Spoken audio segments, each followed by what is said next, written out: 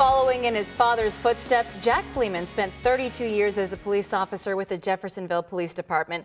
And now he's here to tell us about his new book, a tribute to his father entitled Jeff Cop. And thank you for joining us. and tell glad me, to be here. Okay, so tell me about this book. And, and we were just talking about how this was kind of a process to, so when did you first start thinking of you wanted to write a book? I've been wanting to write it for probably most of my career. I, I went through so many experiences and I thought somebody needs to know about these things mm-hmm. because police see a lot and they don't get a chance to talk about it. And the amount of experience, 32 years. I mean, well, actually, it's 36. I had four with the Indiana State Excise okay. Police, and then 32 at Jeffersonville Police, and much of that was as a detective. Mm -hmm. I've seen quite a bit, and I've learned a lot. And so it came to a time when uh, I want to write a book and and uh, pass this down to my family, my my grandchildren, and my great grandchildren. I'll be off the earth, but let them learn some of the lessons. Maybe do a book report someday about it.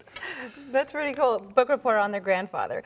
But tell me, what are some of the, the stories people can learn or, or find out about in this book? Well, I talk about first about I was inspired. My father came home one night with police uniforms. He was I was just a young child and I knew right away, I'm, I want to be a policeman just like dad.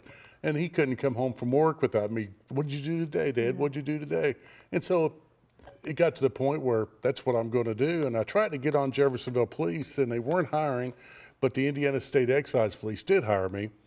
And uh, I was enforcing alcoholic beverage laws in Indiana, been primarily in the southeast part of the state for four years, had some experiences there.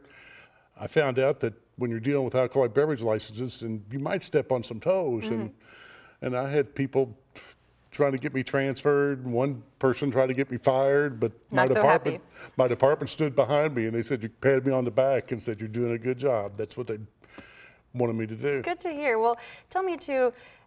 How important do you think this book is for people to read right now in a time when some are thinking and seeing police in not so of a positive light? Right. It, there's a lot of uh, talk about the police mm -hmm. now. I don't know if I'd want to be out there. I'm old school, and uh, you have to hand it to the police.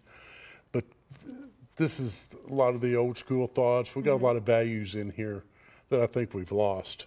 Maybe not just in the police, but uh, in, in society. Just a in different general. perspective than Yes, it is. And uh, there's some uh, great information here, a big paragraph, a big uh, chapter devoted to my work with the Exploited Child Unit here in Louisville, mm -hmm. task force that I was involved in that Mitch McConnell set up uh, as part of the task, uh, the exploited child unit. And uh, John Walsh was in town one time and, and gave us all some lessons in life. And, and I carried him back that night to my police department. And Chief Whittingham listened to me, and we changed policy that night, 8 o'clock at night at Jeffersonville Police, on reporting children missing. Mm -hmm. And uh, th those type of little things. I gave talks to schools and, and uh, had a lot of help from the uh, exploited child unit members.